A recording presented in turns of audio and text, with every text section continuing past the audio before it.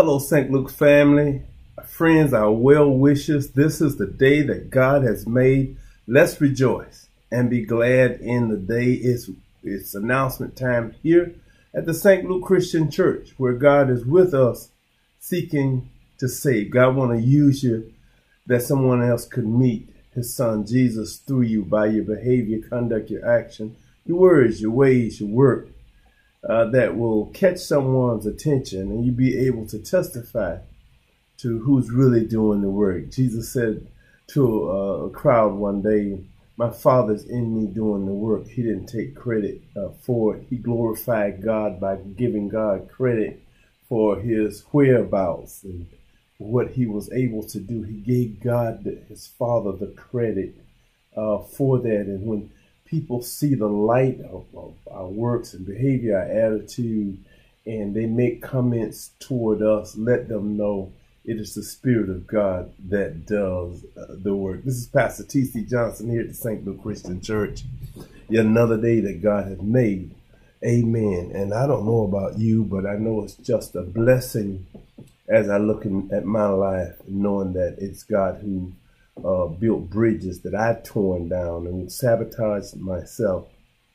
But God, in His awesome, this in His awesome power, um, and it's, it's, bought us, bought me, particularly, specifically, honestly, to this uh, to this point.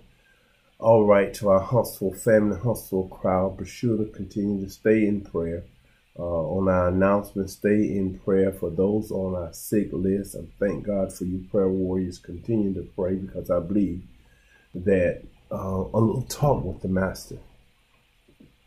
Yeah, yeah. So keep in our prayers those uh, like Brother Mingo Ponder, Sister Pat Flowers, Sister Ellison, Tiny Ellison, Deacon Ellison, uh, our seniors, Sister uh, the Jackson, Sister Mother Foreman, Mother DeVance, uh, Mother Dixon, uh, Mother Audrey. Keep our seniors in prayer. We pray that you know be able to get together with them uh, by the summertime. Hopefully, we'll be able to work that out. Many have been asking, or some have been asking about Wednesday night Bible study uh, going back live and people able to come. So uh, we are strategizing on that. But the truth is, some of you got into your comfort zone. So I have to work on it. Let me thank you all for being with us online uh, on Sunday. But Sunday, the house was almost full, and we thank God for you.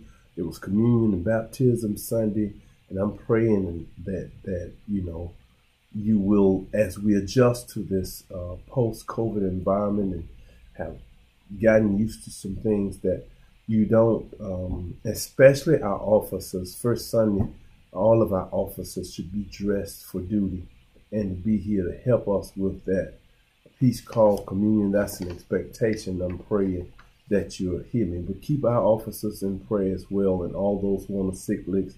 Brother, brother Burris, uh, make sure to keep praying for uh, brother Burris and keep him in prayer. Our own sister. Um, Veronica Foltz uh, and Jacqueline Rutherford, who are convalescent at home. Uh, keep them in prayer as well. Uh, one of our members, Forgery Leslie, son, uh, Fabian Leslie, passed, uh, young man passed, massive heart attack. Funeral will be here Saturday at 12, so please, St. Luke, for those of you who know what we do, uh, come out. He was a, he was a graduate alumni of J- Gerald Johnson High School. And so please come out. We don't know what kind of help we're going to need to be doing. So please, please, please, if you will, let's um, let's comfort that that family. Now, if you're in the Huntsville area, I'm sure you've heard about um, the councilman for our district. Please, please don't go on Facebook and beating the person up, and don't go on getting whatever whatever you do, just remember that he's uh, has a family, has a mom whom I've already uh, had some words with, uh, talked with, um, and he's a young man, and the system may want him destroyed, but we we shouldn't we shouldn't. we shouldn't want that. So we are asking you to stay prayerful for him, uh, that that God will uh, work this thing out in a way that this young man is not is not destroyed. So I want you to uh, pray pray for count the councilman, um, one of the most articulate young men I've met in all my life, gifted. But remember, I told you that the most gifted are normally the most challenged. The most gifted are normally the most challenged. And, and surely, if you're not rooted and founded in He who is the author and finisher of our faith, your your gift can get you uh, in trouble. Amen. So we want you to continue to pray for um, for the councilman. Our HBCU Sunday uh, honoring HBCUs, we will do that on third Sunday, which is the 19th. On that day, if you're a graduate of, of, of HBCU, be sure to wear your HBCU garb. Men's breakfast for this Saturday, due to the funeral, have been canceled. I received that early. Men's breakfast for this Saturday has been canceled due to the funeral, and we thank God for the men who have um, volunteered to come out and help us uh, with the funeral.